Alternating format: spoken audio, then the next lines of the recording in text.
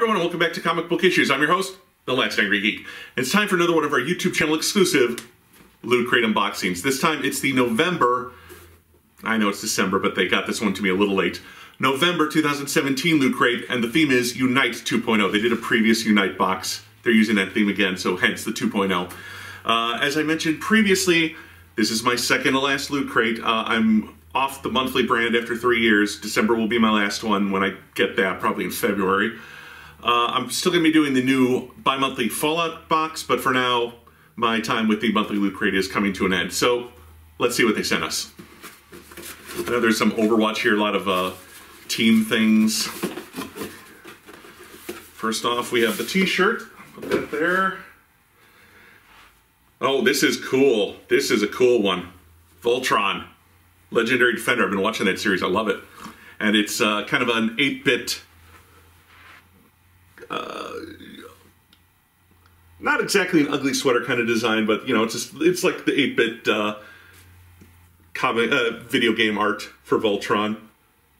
But this is a really nice shirt. This is... Sometimes they go cheap on the shirts and just do quick screen print. This has kind of that um, rubbery feel to the art and the cloth feels really nice. Let's let's try it on. Oh, yeah, this feels nice. It looks cool. Uh, I'm really a big fan of Legendary Defender. I've really enjoyed that series. Uh, so this is just uh, really cool. We got the pilots down here, the paladins, we got the lions, and then we got the big Voltron head. They never explained how they knew lions, the space aliens who built the robots. Hmm. Just a little continuity thing. But they have cows in space, so who knows. Uh, this is, I think, the Funko Pop they spoiled this on the website. They're spoiling items on the website. I don't like that. That's another reason I'm leaving. Time to get up. Oh, oh. But this is the Loot Crate exclusive Widowmaker Pop Funko from Overwatch, which I have still not played, but a lot of people seem to like, so you gotta give it to Blizzard. They know how to make uh, people-pleasing games.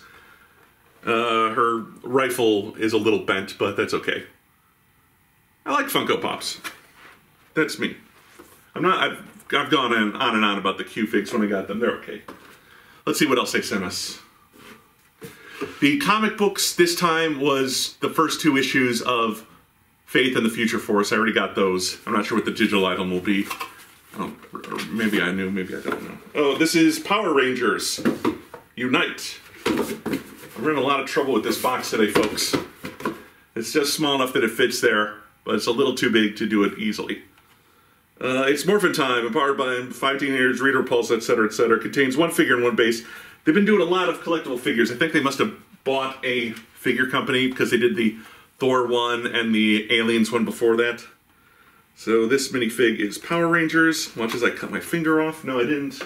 Next time. Before the series is up. How about that? And I have Trini. Or was it Boi? in Zyuranger.